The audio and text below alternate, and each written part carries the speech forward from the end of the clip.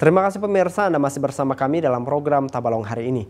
Kepala Desa Manduin terpilih sebagai 10 Kades Inspiratif se-Indonesia tahun 2022. Ia pun mengaku bersyukur dan bangga menerima penghargaan tersebut, serta menjadi motivasi untuk bekerja keras membangun desanya. Rabania, Kepala Desa Manduin, Kecamatan Muara Harus, Kabupaten Tabalong, Provinsi Kalimantan Selatan. Senyum sumringah nampak dari wajah Rabania Kepala Desa Manduin Kecamatan Muara Harus Kabupaten Tabalong saat menerima penghargaan 10 besar terbaik Kepala Desa Perempuan Inspiratif tahun 2022. Penghargaan diterima langsung dari Menteri Desa, Pembangunan Daerah Tertinggal, dan Transmigrasi Republik Indonesia Abdul Halim Iskandar pada 2 Desember 2022 di lapangan Kemendesa PDTT Kalibata, Jakarta Selatan. Sebelum menerima penghargaan, 10 kades perempuan inspiratif tahun 2022 mengunjungi ruang kendali SGDS Desa bersama tim Pusdatin Kemendesa PDTT serta bersilaturahmi dengan Menteri Desa PDTT Republik Indonesia Abdul Halim Iskandar di ruang kerjanya.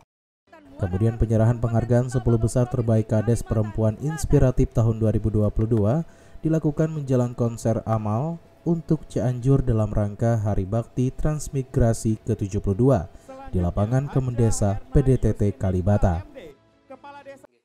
Hal ini diceritakan Kepala Desa Manduin, Rabania, saat ditemui di kantor Desa Manduin pada Jumat 9 Desember 2022.